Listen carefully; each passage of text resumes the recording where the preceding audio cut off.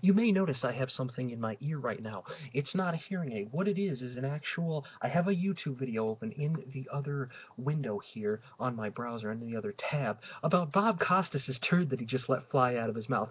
Now, if you're unaware, Bob Costas just said some ridiculously ignorant statement on on Sunday Night Football. I don't watch football, and I didn't even know who the fuck Bob Costas was, but it's blowing up on Twitter. I don't follow Twitter, but I learned that it's blowing up on Twitter from sites like Facebook and Google. It's blowing up. He made some ridiculous anti-gun comment I have that entire conversation in another YouTube video. So I'm going. So for copyright reasons, I'm I'm going to tell you what was said. I'm not going to show you. I'm going to give you a paraphrasing of what was said and my my thoughts on it as it goes along. So here we go. Let's let's start with the uh, the first bit here.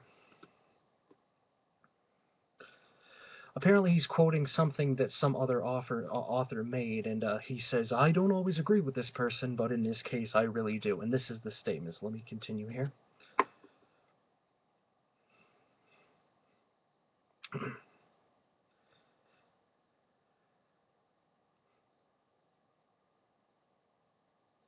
He says our gun culture will ensure that more and more domestic domestic disputes will end in tragedy. We'll let him have that for a second.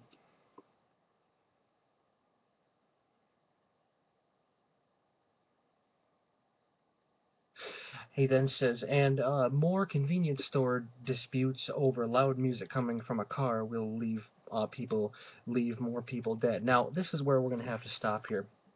Um, I don't exactly agree that we're going to have more disputes like that because if I remember correctly, um, people have been get, getting killed for the stupidest reasons from the beginning of time.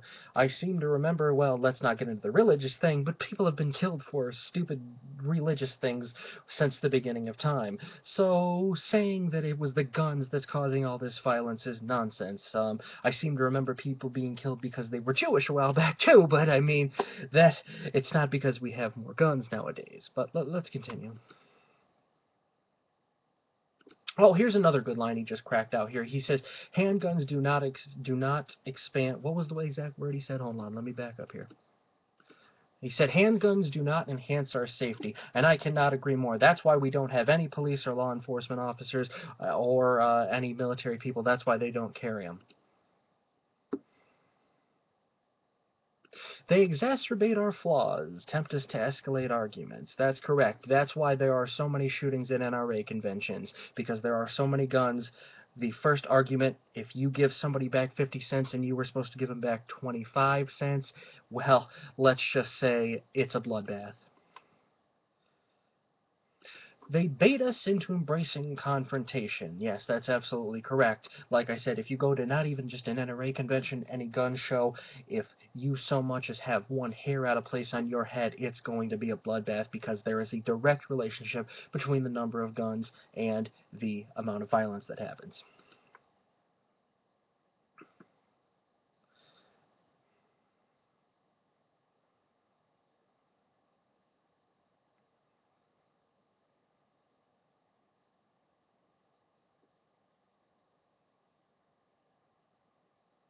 And then he goes on to say this idiot that killed himself, this NFL player that killed himself with, uh, he killed himself and his girlfriend with a gun. It was a murder-suicide thing. He actually says, if they didn't have that gun, then they would be alive today. And again, what a wonderful statement he made. Just like if there were no two planes that got hijacked on 9-11, there would never be any terrorist attacks.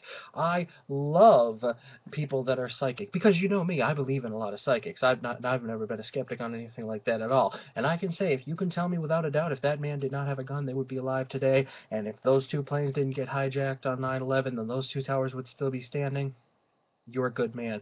That's why like Bob, Bob Cost is giving us intelligent thoughts on the issue. But like I said, I just wanted to give this little uh, little response here because it was just such a stupid statement, and I, I kept hearing this Bob Costas thing, Bob Costas, so I had to look it up, and they had the video on YouTube. I'll go ahead and put the link in the description box here. I will copy it right now to go ahead and put it right in the description box. But this is as you this is what you see is what you get. I could probably make better arguments than even this, but this is just coming right off the cuff from this. That's like I said, I was still wearing the uh, the headphone, you know, because I wanted to get right out to you. I didn't want to write all the transcript out and then give it to you. I wanted it to be bam, right on topic. But yes, way to go, Bob Costas. I, you see, I, now I don't watch football myself, but if there's one thing I know, it's that you turn on your TV on Sunday night not because you want to watch men hit each other and fight over a little piece of pigskin, no, because you want to hear somebody's political agenda. I know I do. I know when I turn on to the Super Bowl, it's like, wow, there's these ladies that are wearing these glittery pom poms and short mini skirts and glittery tights. No, I don't want to see that. I don't want to see that at all. I want to hear this man talk about ruining the very foundations of this country. That is why I tune in. So A plus for NBC Sports. I really do appreciate that. By the way, their Facebook page is also blowing up. If you want to go check that out, people aren't happy about it. But yes, I'm glad you you got the right you got the right demographic of people that watch football.